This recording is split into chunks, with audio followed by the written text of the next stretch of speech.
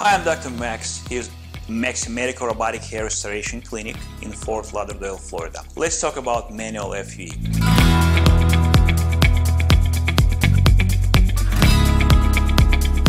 We have multiple options how to perform manual FUE. There are a lot of manufacturers that offer different technologies to be able to harvest uh, uh, follicular units.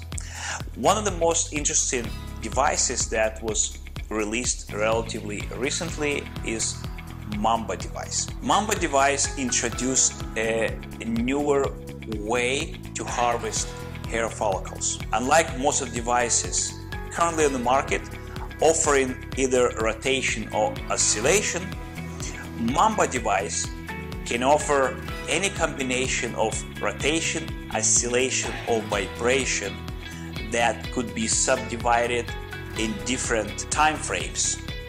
And we're talking about fraction of the second.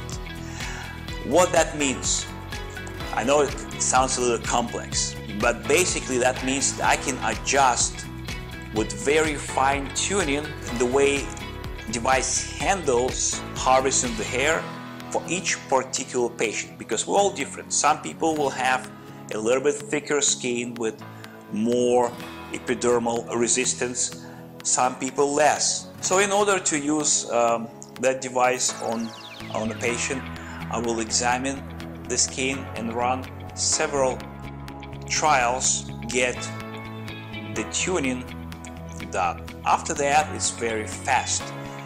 Uh, with Mamba device, I can move quickly from one side to another and my assistant will harvest, will pull the hair follicles at the same time.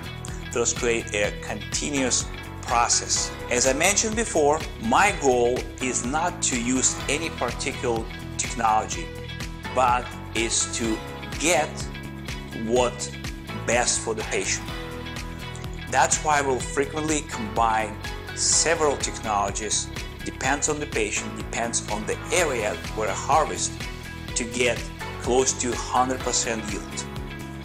For example, I might use Artas IX to harvest hair robotically, the back of the head, and Trivellini or uh, Neograft to harvest the sides.